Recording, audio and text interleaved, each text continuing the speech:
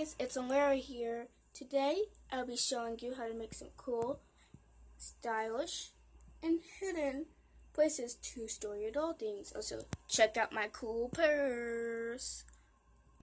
We have all of those cool doll accessories that tend to get stolen, stole quickly by our siblings for their dolls. So today I'll be showing you a couple ways to store your doll accessories. And of course, mostly hidden. First up is the cup. First, grab a couple of your accessories, whatever you want. Clothes, shoes, food, purses, whatever. Make sure that it's not filled to the top. Good enough so that if someone was to look from a good enough distance, they think it's empty. Make sure to use a plastic cup. If you don't have any, it's okay to use regular cups sometimes. Then take a marker, pen, whatever, write on the cup on all sides. Do not touch very big so that they can see it clearly.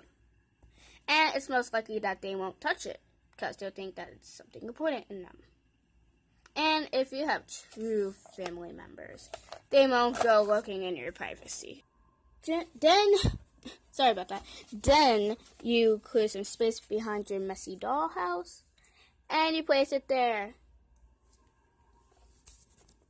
If you want, you can place something on top of it and be like it isn't even there from a certain distance. If you have any of these little boxes, um, around your house that nobody seems to use. It could be from your mom's birthday.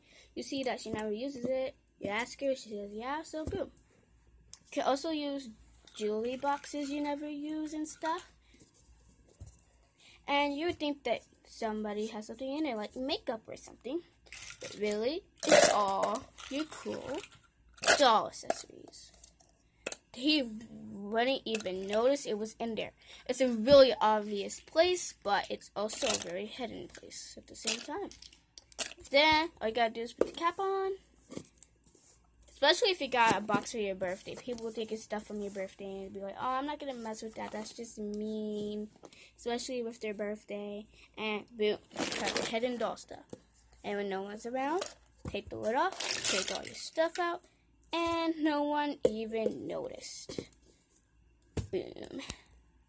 You can use a purse or a wallet. Just take a small, cute little purse, not very po many pockets, just a purse to walk around in, and start stuffing it.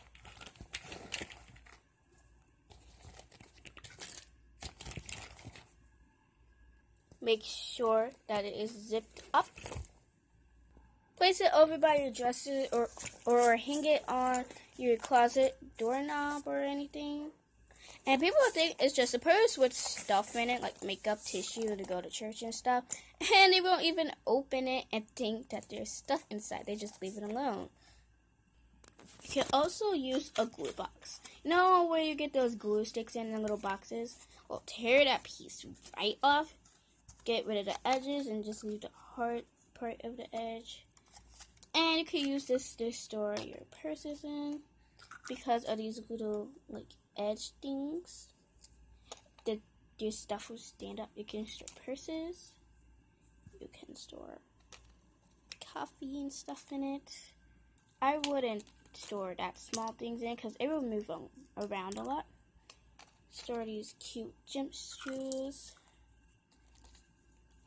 I prefer this for purses and shoes only. Now you can stand your shoes up, make it look neat, because they do stay in if you stand them up. But we're just doing this sloppy. And then you can take it over to where you store your doll stuff. And boom. Now, this isn't hidden, but it's just a place to keep all your stuff. In case nobody ever steals your stuff or anything. Just a little storage space idea especially if you like to recycle and reuse old boxes. This is a perfect idea, and you could just place it in your doll's room next to their little shelf router, work and stuff, and boom. Also, a wallet is a really good idea because if you have one of those wallets with a bunch of pockets in them. That is absolutely perfect. Great place to store your stuff, especially to have that big open pocket like this. Perfect place to store your stuff in. And people would think it's just your wallet, but secretly pack another wallet. So, yeah. So they think that's, so that's the real wallet, but this is the fake one. This, and you can just layer it out around wherever you want. You're like, oh, it's your wallet, uh, whatever. What is really all the treasures? The stuff inside. Now this is not a hidden a hidden way, but it's a way to just store your stuff. Now this is a little food box from like John, Long John Silver's. You can start collecting these and placing your stuff in them, like your doll shoes, um, some of their food, and um, some of their drinks. Just find a drink real quick. Here we go, coffee and you can store like little handbags and wallets and stuff. Really good idea. Or if you don't want to use that, and if you're one of those people who made that DIY large pool, this would be a perfect floaty for one of your little kid dolls. Or you can turn it into a bed for them, just do, do a little bit of sprucing up to the box. Yeah, I just threw her. Or you can make it um, a place to store all your dolls' outdoor accessories for their kids, like hula hoops and skate skateboards and stuff for outside play as storage. That's a really good idea. I often throw things around. That's why my room is so messy. Well, you're like, what mess? The only mess is this, this, this stuff back there is where the mess happens.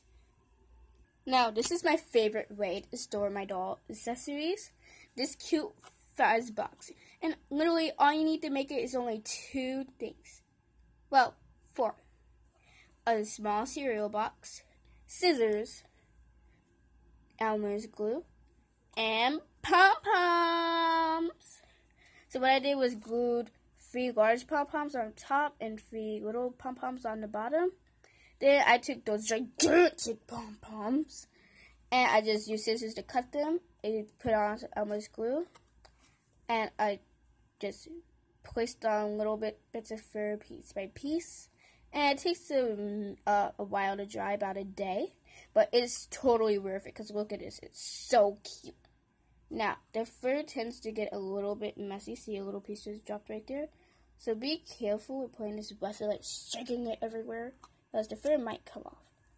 The same goes with a rug. Just cut a piece of paper and then you glue those pom-pom fur on it. It's a cute little rug. It's my favorite DIY ever.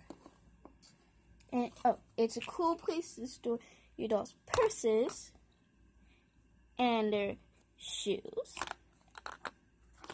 And also, it's small enough to fit in your doll's room, so they could just reach in for their stuff. And it's also really cute, especially for um, a pink room. Well, it doesn't matter what color you make it. Last but not least is a bubble bottle. You can use bubble bottles or deodorant bottles. I prefer bubble bottles that are clear. You can see the inside because it's so much cooler. Now, this is um not probably not a good place to store your purses because one, it probably would, wouldn't fit, and two, it probably gets stuck inside. But it's the perfect place to store your doll's heels and shoes. Now, I prefer heels because you're less likely to get stuck at the very bottom of the jar, and you have to like get a long boot, stick your finger in it, and just just dig it out. It's pretty easy to do that, but I don't like to.